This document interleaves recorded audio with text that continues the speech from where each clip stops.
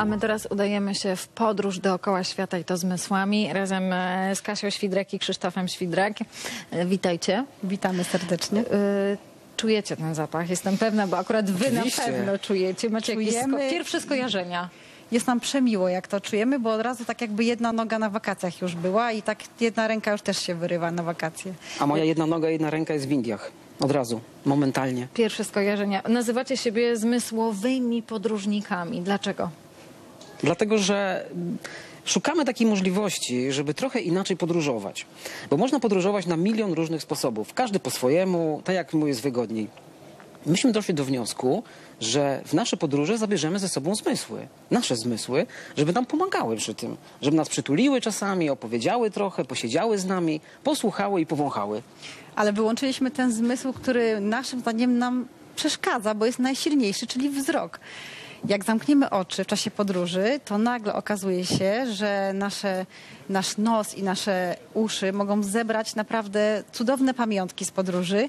I to są pamiątki, które nic nie ważą, mieszczą się w każdym plecaku w dowolnej ilości i nie trzeba żadnego cła za nie płacić. Czyli rozumiem, że pierwsze co robicie w czasie swojej podróży, lądujecie w danym miejscu, zamykacie oczy i wciągacie powietrze. Tak. Tak. I wyobrażacie sobie to miejsce i potem konfrontujecie to wyobrażenie? To jest, takie, to jest coś takiego, że nasza wyobraźnia podpowiada nam różne rzeczy.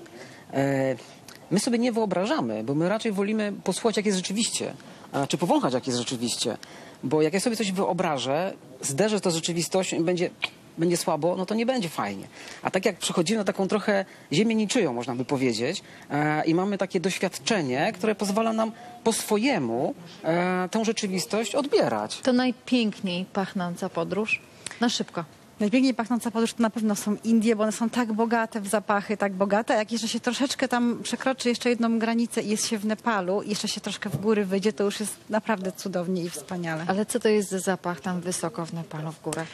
Y, Tam wysoko, Bo poranna... Indie poranna- wyobrażam sobie jako zapach przypraw i kadzidełek. Też, A- ale Indie a- też mogą negatywnie zaskoczyć przypra- przy, y, zapachem, bo jak na przykład y, ląduje się w Bombaju i wysiada się z samolotu, to naprawdę nie czuć ani przypraw, ani kadzideł, tylko czuć ogromny, ogromny smog samochodowy i wyziewy, które tam się unoszą wielką czapą nad, nad Ale jest taka ulica w Bombaju, gdzie pachnie książkami. Słuchajcie, to powiedzcie, y, już za wami podróż życia? Pewnie nie, ale mieliście już taką podróż marzeń e, od lat spełnianą wreszcie?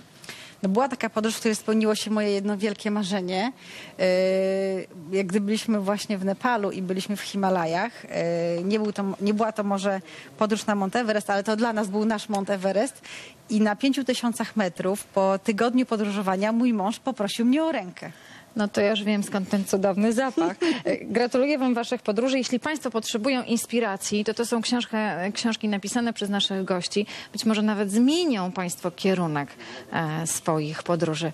Bardzo wam dziękuję za tę zmysłową podróż.